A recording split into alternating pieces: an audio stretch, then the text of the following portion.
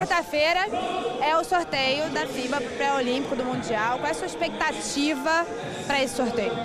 Muito boa noite primeiro, né? Primeiro é que há que esperar dia 27. Seguro que vamos jogar um torneio em Europa porque não podemos chegar em, em eh, Canadá. Por isso, ou Lituânia, ou Croácia, ou Sérvia, eu tenho só, em caso que posso elegir e posso, não quero Sérvia, Lituânia ou Croácia, para, para mim dá igual. Sim, claro. Fábio Bala? É, Petrovic, queria voltar um pouquinho ainda no Mundial, né? Queria que você falasse um pouquinho como é que foi a campanha da seleção brasileira, a sua avaliação do Mundial, a gente ainda não conversou depois. Queria saber se você já conseguiu rever o jogo contra a República Tcheca, que é um jogo que ainda me dói muito no coração, o Brasil acabou perdendo e deu uma dificultada na segunda fase. Bueno, eh, eu tenía 44, 43 días y medio, todo salió a perfección, pre, eh, juegos de, de preparación contra Argentina, contra Francia, hemos jugado muy bien.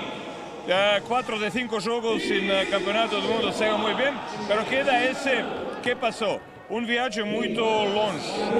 A nove horas un día antes de juego es complicado para afrontar. República Checa tenía una ciudad mucho más eh, próxima a Shenzhen, por eso no se gastó tanto. Primero dos minutos de juego se veía que el equipo no tenía la energía por este long viaje, como estamos un poquito más ah, bello que República Checa se notó. Primeros 10 puntos, recibimos dos puertas atrás, no fechamos dos rebotes ofensivos y un chute sin oposición. Eso es primera vez que pasó y única vez que pasó. Por eso ah, en esa noche no estamos ah, preparados con la energía. Otra cosa, falando con Alex hace dos días, cuando estuvo en eh, juego Minas contra Franca, también él me explicó por parte suya y de jugadores. Momento cuando salimos del grupo, ganando todos los partidos, todos los juegos, equipo no tenía miedo de República Checa. Y cuando você entra en la cuadra sin tener miedo de oponente, no es co- una cosa boa. Y por eso no, no hemos tenido mucho tiempo para preparar esse jogo. Você tem visto muitos jogos do NBB. O que que você está achando dessa partida de hoje? Bueno, primero cuarto fui, costaba a todos los dos equipos para entrar juego, muchas bandejas, muchos chutes, todo, pero segundo tiempo, ah, segundo cuarto, ah, Flamengo aumentó con la intensidad. Y Botafogo en ese momento no respondió bien con dos faltas. Que están demasiado ah, longe de, de cesta. Y eso es problema de Botafogo en primero 20 minutos. Está observando alguém especial aqui hoje?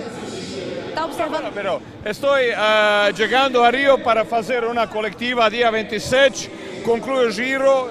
Hay, aquí tenemos ah, a Marquinhos que, que estaba en selección, tenemos un corte de Jonathan que no jugó hoy, pero estoy mirando, eso es ya en pocos días, ah, estoy holgando ocho equipos de MBB para mí eso es una cosa muy importante, ser presente para ver los juegos.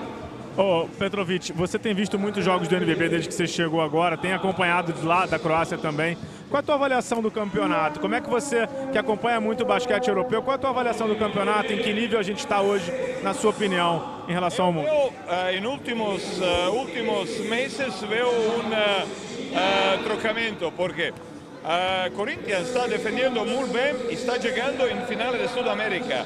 Botafogo estaba defendiendo y viró, eh, viró juego contra equipo argentino. Equipo que está aumentando con la intensidad y con la defensa y eso a mí personalmente me gusta mucho porque eso es forma de jugar. No podemos solo jugar de ataque, hay que controlar las emociones, jugar bien defensa, tener un buen balance defensivo y eso cada vez más quiero ver, eh, puedo ver en eh, NBB. Hay dos de esos cuatro juegos fueron muy, muy para mí, muy boas. Corinthians Paulistano y Franca contra Minas. Legal. Fala pra gente quem é o Petrovic, é croata, tá no Brasil há algum tempo, o que, que você tá achando do país, onde você vive geralmente. Conta um pouquinho pra quem tá assistindo aqui a gente. Bueno, ya gente me conoce, con- conoce en Brasil. No, estoy ya 48 años dentro de, de, de basquet, como jugador, como entrenador, ya tengo mucha experiencia. Y como jugador y como entrenador estuvo en todas las grandes competiciones como Juegos Olímpicos, Campeonato del Mundo, Campeonato Nacionales, por eso tengo mucha experiencia.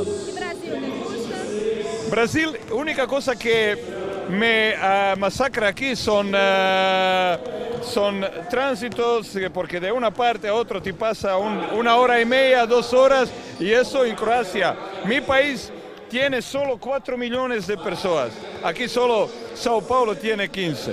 Y eso es una cosa que es muy complicada para mí. E o que, você mais gosta no Brasil? Bueno, eh, llegar a un jantar con los amigos, tomar un poco de vino y ya está. As paisagens do Rio de Janeiro. Eh, mo- Cuando estoy en Brasil moro en Campinas, em uma cidade muito mais europeia que os demais. Eh, Não, mas quando chego estou uh, eh, conectado com o básquet, Não tenho muito tempo para ser liberado. Mas o Bala disse que vai te levar para passear aqui no Rio de Janeiro.